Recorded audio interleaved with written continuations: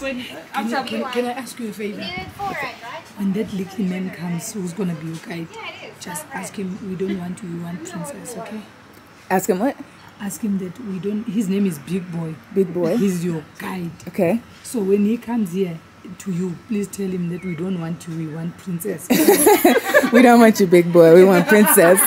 I got you. I Just got tell you. him when he's like, my name is Big Boy. I'm going to be your guide. Said no, sorry, sorry. We thought. I got you. Yes, commonly known as the wild fine, you can set up. So the name Gnu, they were named by the Bushmen. When they saw them, they didn't know how to call them. Then they started making that sound that goes Gnu, Gnu. They said, from today, we are going to call you a Gnu. but you are not allowed to call a person a Gnu. You might even get arrested. Oh. Remember, we have big five, we have ugly five. So they are one of the ugly fives. and they're not clever at all.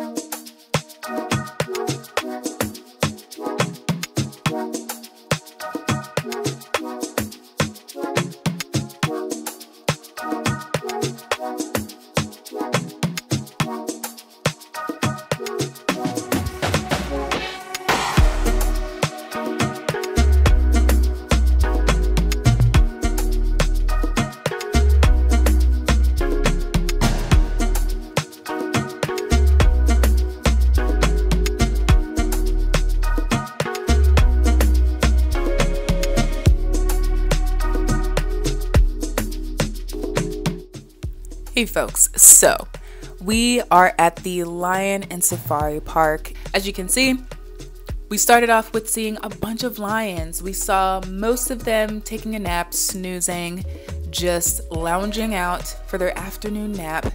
And this is what got me about this particular group of lions. It was the babies. The babies were so cute. They were just, they were knocked out. I don't think most of them even knew that we were there, just kind of gawking at them and whatnot. But it was so cool to see. I mean, yeah, we were in a cage truck and everything, but we were literally about maybe, I don't know, anywhere from two to five, maybe 10 feet at some point from these lions. We saw an albino lino, which is really cool because I don't think I'd ever seen that before. We came across this guy who was just kind of chilling out on the side of the road. We were trying to get him to come close to us so we could pet him. Um, I really wasn't one that wanted to pet him, but everybody else was into it.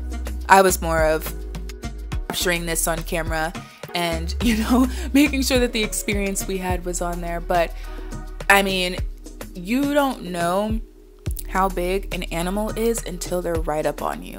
Because from afar, I mean, this isn't the first time I've seen a giraffe, but from afar, they don't seem like they're that big. If anything, they just seem like they're really tall, which they are. But man, they are they are big. Then we saw the leopards. The leopards just chilling out. I learned that the little stripe on their eyes is to help uh, with the sun and help from it glaring. But the coolest part about the entire trip, the entire kind of activity for the day, because this was like a three hour activity, was witnessing feeding time. And that's exactly what these next couple of clips are. So you can see they're following the truck because they know the truck that has the food. So they were following it. They weren't following our truck, right? Like, because we don't have any food. I mean, we had food, but obviously not for them. And um, so you could see them all kind of getting their pieces of meat and running off to their respective places. Oh my gosh, I'm cracking up because they're just so funny. It's like they, it's like you don't, when you see something like this, you don't necessarily see huge lions with huge pieces of meat. It's like you see a cat just like, ooh, I got my food. I'm gonna run away because I don't want anybody else to get it. Oh my gosh, it was so funny. But yeah, it was so cool because I'd never seen this before. I'm not really all that fascinated with lions just naturally, but my husband is. And so, you know, this was like, I felt like he was like a kid in a candy store watching this because it was just so cool to see, I guess, kind of like nature at work, right? Like just being able to see the lions tearing up the legs, the ribs, the whatever it was that they were eating. Um, it was so cool.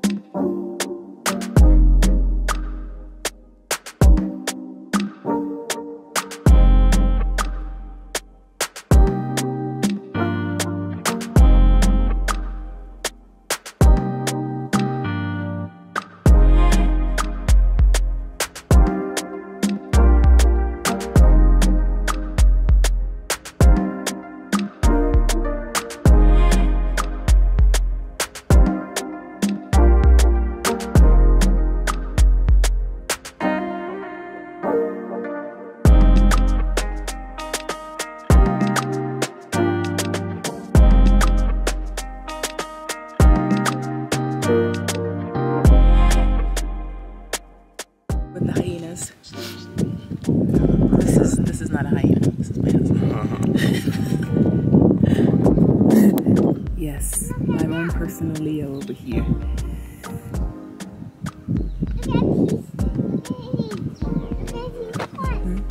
Yeah, I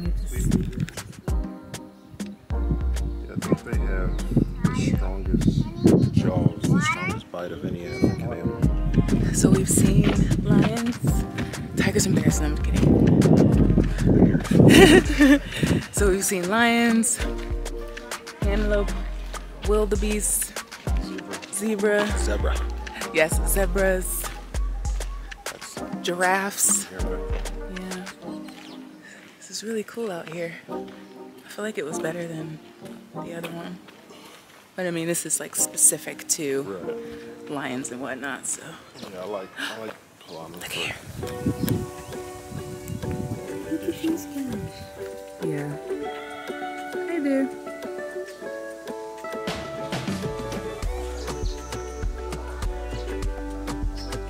You would have seen this in some of the previous clips, but there were fences and gates everywhere because at this point in the activity or trip or whatever you want to call it, we were kind of walking. We were no longer in the truck. So we had to stay behind fences for, you know, obvious reasons. I was trying so hard to focus in on the black leopard, as you would have seen in the previous clip, but because we were outside of a fence and there was too much distance, we really weren't able to get a clear picture of it. We saw more lions, we saw hyenas, leopards, uh, who else we'd see? I think that was primarily it when we were kind of walking around. We saw so many animals, y'all. It was honestly a wonderful day. And you can see here the little, I think they were warthogs or wild pigs or something, I can't remember, were kind of running away. I thought they were so cute. So sorry about the clip being super shaky. We were still in the truck. But again, we saw a plethora of different animals antelope, hyenas, lions, obviously, so many different animals that I feel like we didn't see before. Then for lunch, we went to the Wetlands restaurant, which is like right on the reserve, and we saw this guy and we got to take some photos with him. Lunch was good, and that was pretty much the end of our trip.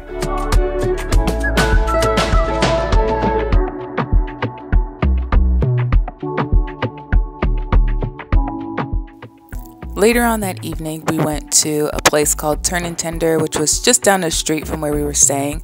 And it's where I had, according to the menu, a traditional South African dinner. So you'll see in a in a couple clips what I ordered. I ordered a boerewors. I'll put the name on the screen with pap and gravy, and I also got malva for the first time. My boo got a burger. He's a Texas boy. He likes his burgers. He said it was okay. And the sausage that I had, which you can see here, was pretty good. It was different. It was definitely different, but the malva was really the the shining star. So the next activity we got up to was test driving some cars. So we've seen a couple of different brands driving around that are pretty popular, uh, and Range Rover was one of them. So we wanted to take a look at a couple of different SUVs like the Defender, the Evoque, the Discover, Discover, Discovery.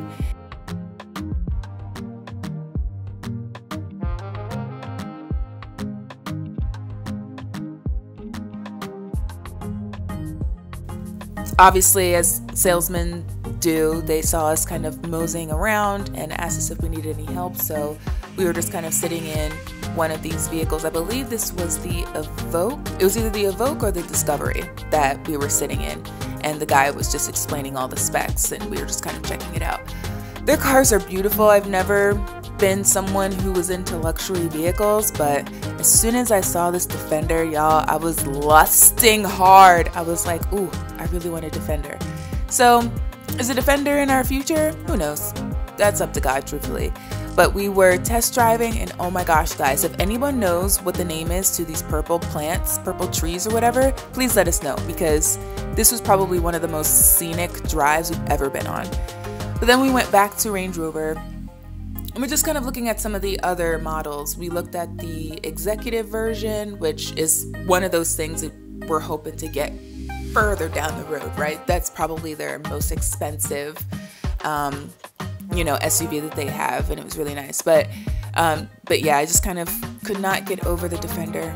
I just really liked it, and I hope to see it in my future one day. Who knows? We'll see. But that was test driving the Range Rover. So today is Monday. We're still in South Africa, beautiful South Africa. One thing I can tell you for sure that I've noticed between being here in the States is my mental health has been, now I'm not gonna say peak, like peak peak, but it's been close, close to peak. And there are several reasons why, and I guess I can get into that like at some point, maybe when we get back to the States. But he done pulled up a menu. My boo left uh, not too long ago, maybe about five, ten minutes ago to go to the mall right across the street, probably to get some food because he and I have different schedules. He gets hungry at different times than I do, so he went to go get himself some food. But today we went to Land Rover, Range Rover, wherever, to look at cars because we're trying to figure out what car to get, you know, once we move here.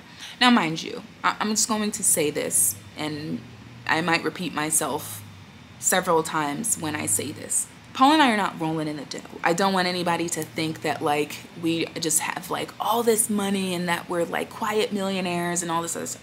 No, we are just middle class citizens who have worked very hard for our money. We save, we budget for everything, everything. Even on those little random like trips to like TJ Maxx or to Lush or anything like that, I budget those. If it's super, super random where I didn't plan for it, I still will budget for it. I will still look at my bank account, figure out, okay, did all the bills come out? I've got a little bit of fun money. Okay, I can spend $75 at this place and I'm not gonna exceed that. I do try to stick to a pretty strict budget so that I don't go overboard we, you know, typically budget for everything. So I don't want people to hear Range Rover and think, oh my gosh, Denise and Paul are like making hundreds of thousands of dollars a year and, and like they have all this money to use and they're moving to a different country and all these other things. No, there's, there's so many things that I could tell you guys about like moving here and all that kind of stuff, but we're not there yet. so we'll kind of give y'all, I guess, more details and stuff depending on what it is that we feel like showcasing just to kind of just for like security sake, you know, in the future. But aside from that, we're kind of looking at cars. Like we're looking at Range Rover, but we're also looking at like Hyundai and we're also looking at Toyota. So we're, and like he wanted to test drive Maserati. Are we buying a Maserati? No, not even close. He really wants to um, test drive a Rolls Royce as well. Are we buying a Rolls Royce? No. Um, like we have a particular budget that we are putting in place to get a car and all of that. So I just wanted to like give a little bit of a disclaimer to let y'all know we ain't rolling in the dough. I wish we were because then I wouldn't have to work. so I don't know if I told you guys about when we went to the spa.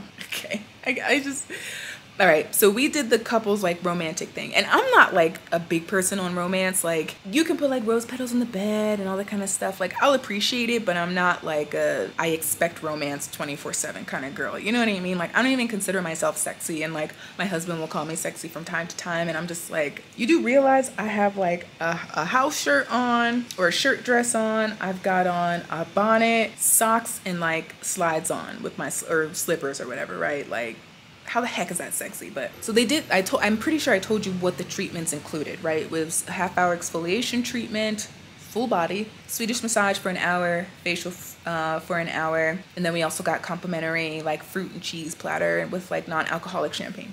So it's just a beautiful, beautiful experience. And I think for the two of us, it costs less than like $175, which is really good. And like, mind you, we could have stayed there all day, just chilled out in like the um, like chill out area. There's like a pool and stuff. We could have gone into the jacuzzi, gone into sauna. Like there are just so many different parts of the facility that are available to you when you book a service with them. The exfoliation part. So anytime I go get a massage, because I'm not new to massage, neither is he. But anytime I go get a massage, I typically will just have everything off except for underwear. Because I'm like, I don't know, I just feel weird like having my complete birthday suit on when it's a, um, a masseuse or whatever. So that day I had worn just like some little biker shorts underneath my skirt because I was just like, F underwear. F traditional underwear, okay? So we get into the room and she's like, okay, there's, you know, about the treatments, you know, it's a half hour, you know, exfoliation thing, which I completely forgot about. And I was like, oh, okay. And so she's like, there's disposables, disposable underwear on the beds. And for me, there was a shower cap so that I didn't get stuff in my hair. So she's like, okay, put on the disposable underwear. If I can find a picture of what these looks like, I will show you. But basically it was like a paper thong, not even a thong, a paper G-string okay, and a shower cap, which is basically what I had to put on. And so we're looking at each, and for my boo, he had like the same type of material that mine was made out of, but his was in the short version. We're looking at each other like, okay, we both have on like like underwear kind of situation already. Should we get into these other ones? And so we were just like, whatever. When in Rome, do as the Romans do, right? So I put on these like paper thin G-string type underwear, and he puts his on, and I put on the shower cap. And I was just like, okay, whatever. Just go with the flow, right? So then you have to cover yourself with a towel. So I cover myself with a towel and um, she's like, okay, um, they come back the because we had two therapists, right? So one was working on me and one was working on Paul. She's like tells me to sit up from the bed. So I sit up and she takes a scrub and is just rubbing my entire body with it. Starts with the back and everything. She does my whole body, whole body, back, back of the legs, front, everything. But the thing is, when she got to the front, y'all, I'm thinking to myself, okay, she's not gonna do my chest or my stomach because I don't have anything on. So as soon as she's done like doing the, the front of like my arms and my legs, she's like, she taps me on my stomach and she's like, are you okay with me pulling this down? Meaning the towel. Mind you, the towel's like long ways on me, right? And I was like, sure, whatever. So I'm just sitting there topless, okay? With these string, like these paper G string on the bottom with the towels like covering my bottom area and I'm completely exposed. Now, mind you, like my husband's next to me, obviously he's seen my body, so there's no problem with that, but I'm in front of two strangers and I'm just like, whatever. You know, they're black women just like me. We have the same stuff, whatever. So I was just like, so then Paul was like, like later on, Paul was like, yeah, when I looked over at you, I was like, I just couldn't believe, I was like, it's just like all of a sudden it was just like tits up. And I was like, yeah, I was kind of like, what is going on here? This is a crazy experience. But let me tell you, the exfoliation felt so, so good. It was hilarious, but it was also so great. And I forgot that it was like a romantic thing, right? So then they're like, okay, you know, once they were done, they're like, okay, you guys can get into the shower and rinse off. So we rinse each other off, all that kind of stuff. But it was just kind of like, a strange experience but also hilarious at the same time because I was just like I've never done anything like this before but we would definitely go back it was just really really nice so the next day, or maybe even the day after that, we decided to check out the Mall of the South, which is in Joburg South. For any of those who are wondering where it is, obviously you can look it up on the map. But when we got there, it was in the middle of load shedding, so a lot of stores weren't open or were just kind of shut down for a little bit until the electricity came back on. But we went into this one store, I can't remember the name of it for the life of me, but it reminded me a lot of Hobby Lobby, TJ Maxx, Joann's, you know, kind of crafty, kitschy places that you see here in the States. It had Halloween stuff, of course, because we were there in October. I, of course, couldn't help but touch everything because I'm a two-year-old child. You know how it, it how it goes in those situations. You just can't help but touch everything. But um, when we were visiting different malls, we went into a lot of the home decor places. So there's a lot of kind of repeats in a lot of these malls, which is fine because, you know, the selection from one mall to the next may be very different, even though they're the same store. So in this particular store, we saw a lot of home decor that we liked, a lot of office decor, including desks and chairs that we really liked as well. So it wasn't too bad of a stop.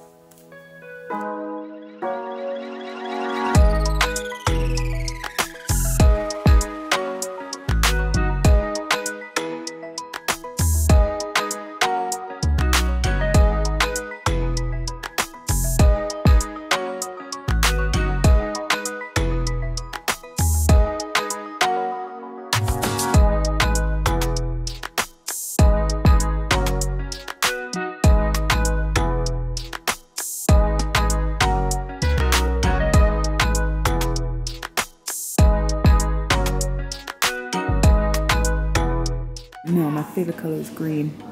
I want both of these chairs, especially this one. It's so pretty. My style is mid-century modern, so this is totally my style. I'm telling you guys, we were in so many home decor stores. That's literally all we looked at. That's how you know that we've reached peak adulthood. Our our idea of fun is literally going into a home decor spot, checking out different dining sets and bed sets and and going, "Hmm, I think that'll look really nice in the house whenever we get a house." It was it was too funny.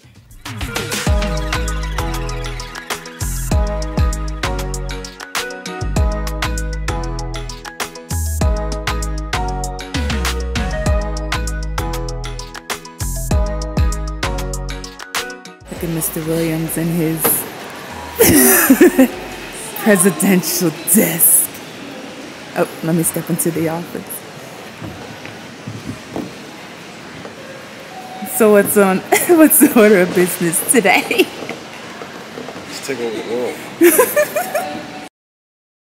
So then after the Mall of the South, we decided to head back home. I was trying to capture the lightning in while we were in the car because it was intense. It was intense. It was like their raining season at the time, but that was it for our adventure week part 2. I hope you guys enjoyed it and I'll see you in the next one. Bye.